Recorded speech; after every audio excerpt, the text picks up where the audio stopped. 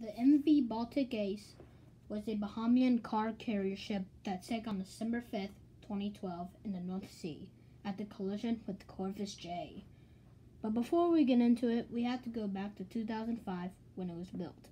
In 2005, construction had begun, and she was finished in 2006 and sailed on her main voyage in 2007. There is no image of, of the ship being built. The Baltic Ace was 468 feet long, 148 meters, and was 7,787 tons.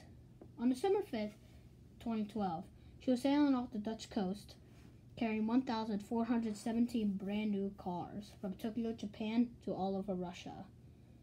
It was a normal Monday night, but soon they suffered low visibility and causing a collision with the Siberian container ship, the Corvus J. The Corvus J suffered severe damage to her bow, but remained afloat. But the Baltic Ace, however, sank. After 15 minutes, the Baltic Ace capsized and sank, taking 11 of her 24 crew members with her. And it cost $10 million to repair the Corvus J and $28 million worth of cargo on the Baltic Ace was lost in the terrible disaster. The wreck was in 100 foot deep waters in one of the busiest shipping lines in the world. There was a chance of a ship striking the wreck, causing the ship to sink, or releasing bad substances into the environment, killing a lot of aquatic creatures.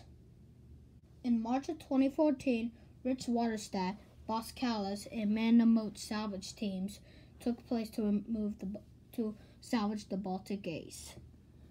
150 people and 18 ships took place in the operation. The first day done was removing its remaining 143,000 gallons of oil. In April 2015, the Baltic Ace was cut up into eight sections. The aft was lifted up first. The, ba- the bow was followed two days later. The ship's cargo was completely destroyed. The salvage operation was finished in October 2015 and the shipping line was opened in, no- in late November. The Baltic Ace cost $75 million to recover. But modern day technology makes sinking ships near impossible. So, what the heck happened? The accident was by human error because both ships both ships were blamed because not, because none of the captains of both ships followed collision regulations. The sinking of the Baltic Ace proved that catastrophic failures can happen anywhere.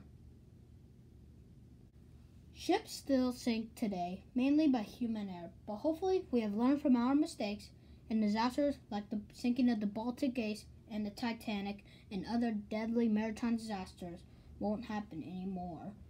And that, well, that wraps up for this video. So I hope you enjoyed this video. And be sure to uh, like and subscribe to You Sunk Productions to see more just like it.